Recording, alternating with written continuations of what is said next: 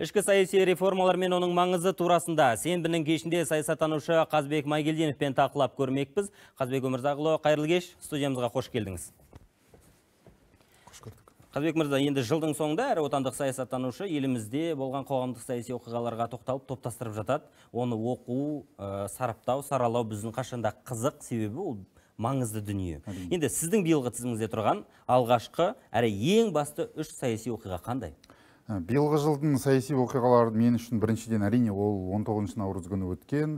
Мәжіліс және мәслихат ә, депутаттарының сайлауы. Бұл сайлаудың маңыздылығы неде? Бірінші рет ә, енді 2004 жылдан кейін елімізде аралас жүйемен өтті. Мажоритарлы және пропорционалды оның ішіндегі тағы бір маңыздылығы азаматтар өзін өзі ұсынуға яғни бір мандаттық округ арқылы өзін өзі ұсынуға мүмкіндік алды. Екінші үлкен бір саяси оқиға менің ойымша бұл президенттің өзінің жеке тапсырмасымен және өзінің сайлау алды бағдарламасында айтылған бұл шетелге заңсыз шығарылған активтерді қайтару туралы заңға қол қоюы. Өйткені бұл заңның маңыздылығы неде? Шетелге ә, шығарылған активтерді қайтару дегеніміз ол қаражаттың барлығы бюджетке түседі және де әлеуметтік нысандар салуға жалпы экономикамызға өз үлесін қосу керек. Және үшіншісі елімізде алғаш рет енді тәуелсіздік жылдарының ішінде ең бірінші рет мына аудан әкімдері және қала облыстық маңызы бар қала әкімдерін тікелей сайлау. Бұл дегеніміз яғни әкім тағайындалмайды әкім халықпен сайланады. Міне осы үлкен үш саяси оқиғаны мен айтар едім. Енді жаңа айтып қалдыңыз сайлау деп мәжіліске алты партия кірді мажоритарлы жүйе мінекей еніп жатыр. Сондай ақ аудан және қала әкімдерін ә, біз сайладық. Енді ә, көпшіліктің көкейіндегі сауал ә, бұл халықтың өмір сүруіне қалай әсер етті? Әлде игілігін енді сезінеміз бе? Біріншіден мажоритарлық жүйемен және пропорционалды аралас жүйемен сайланған депутаттардың қазіргі таңның өзінде мына сегізінші шақырылымда қаншалықты белсенді екенін көріп отырмыз. Әсіресе мына бір мандаттық ақыры келген депутаттардың белсенділігі өте жоғары. Бұл дегеніміз халық қалаулыларының жалпы мына қоғамның халықтың сұранысына сай болып жатқанын көріп отырмыз. Бұл өте маңызды. Екіншіден аудан әкімдерінің пилоттық жүйедегі бірінші рет мына тікелей сайлауын өтуі бұған дейін ауыл сайлау әкімдерінің сайлауы өтті.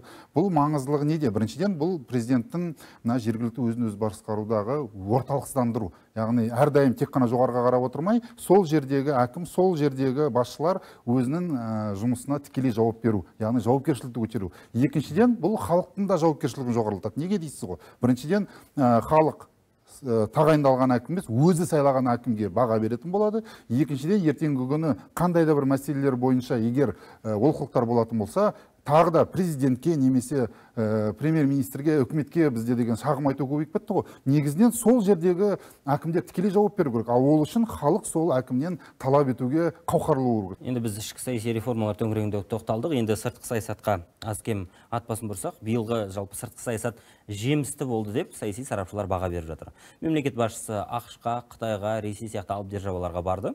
Соның ішінде қытайға бір емес екі рет барғаны нені аңғартады?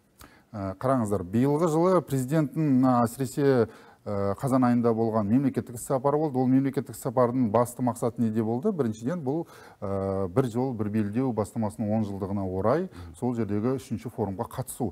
Қазақстан қазіргі таңда қытай үшін бұл еуропаға терезе.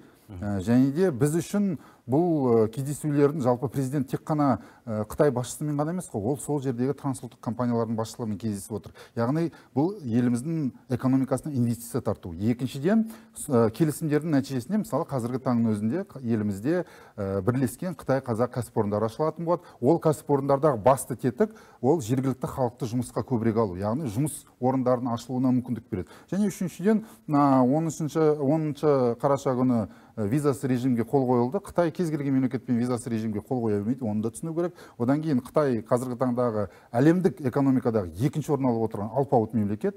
Қазақстан егер әлемдік мұхиттарға жол жоқ дегеннің өзінде біз үшін қытай сол мұхит. Енді бізде бір меже бар. Ол 2029 жылға дейін жылға қарай ұлттық экономика көлеміне келсе яғни 450 миллиард долларға дейін ұлғайту.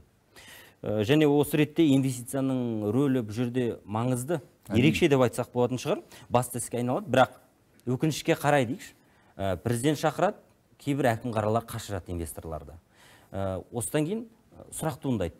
Жергілікті жердегі басшылар жалпы инвестиция тарту деген дүниені түсіне ме біле ме және де ол инвестицияның қаншалықты маңызды екенін қаншалықты бағамдай алып отыр? Өте маңызды сұрақ. Инвестиция дегеніміз не? Қазіргі таңда өздеріңіз білесіз президент ұлттық қор балаларға деген заңға қол қойды. Яғни еліміздің әрбір жанұясында 18-ге дейінгі балалар өзінің есеп шотына осы инвестициялық түсімнің елу пайызын алады. Яғни бұдан шығатын қорытынды жергілікті әкімдер өзінің жауапкершілігін түсіну керек. Бұл біздің болашағымызға жасалынып отырған тек қана сол өңірдің дамуына емес. Қазбек өмірзақұлы сенбінің кешінде уақыт тауып келгеніңізге рахмет.